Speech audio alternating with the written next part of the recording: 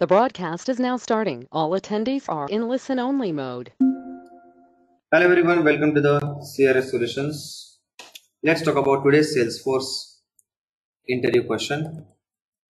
So today's session, in today's session we are going to see this interview question.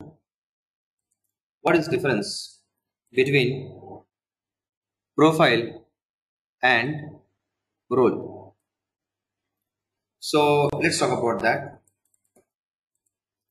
Now let me tell you how to answer this interview question. So please note profile is something which is compulsory for every user in Salesforce but uh, role is not compulsory. Please note profile help the user to have object level access in Salesforce whereas role helps for record level access.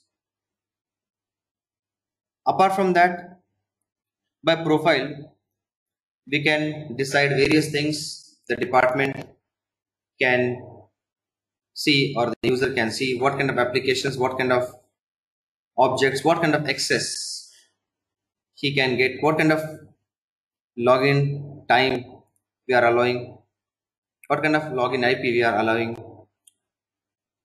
and such various things we can manage.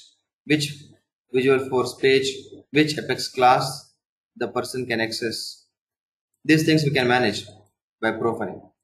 But in role these things are not available. In role we can only just decide that uh, the team the user hierarchy. And this way which senior level user in the hierarchy can see which junior level users data that only we can set by this role. So these are the differences which you can actually tell in the interview when they ask about profile and roles.